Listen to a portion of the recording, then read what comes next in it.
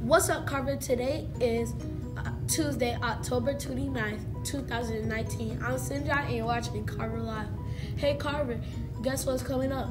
Drum roll, please. It's almost Halloween. Two days till Halloween. Now let's go to Gloria with the lunch. Hey Carver, it's taco time because today it's a hard shell taco or PB&J, steamed corn, lettuce, shredded cheese, refried beans and queso, salsa and sour cream, a chocolate chip cookie, and your choice of milk. Now back to you. Thanks, Gloria, with that delicious lunch. Hey, Carver, do you want to know my favorite part of of sports is is the concession stands? Now let's go to Jack with Sports Corner.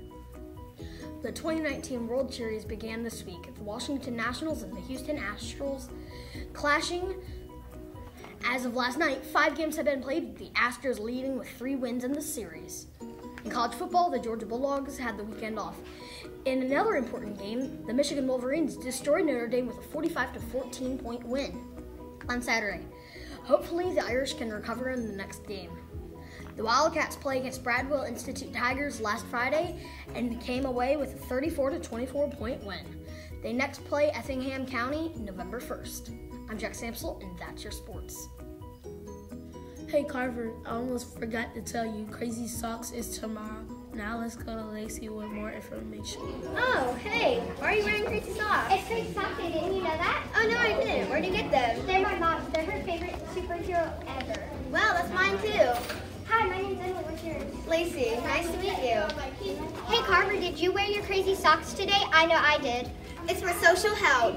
So start a conversation with someone you've never talked to before. I can't wait to see your crazy socks in the hallway. Now, Now back, back to to you. you. Happy Halloween. Did you know Ireland is typically believed to be the birthplace of Halloween? I'm Marley. And I'm Allison. Today we're here with Miss Rizer's class. Please stand for the Pledge of Allegiance. I pledge allegiance to the flag of the United States of America and to the republic for which it stands, one nation, under God, indivisible, with liberty and justice for all. Please remain standing for a moment of silence.